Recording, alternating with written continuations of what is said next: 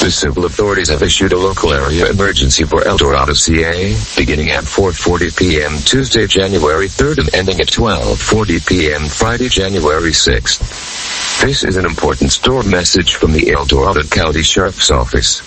If you live or are traveling through any of the El Dorado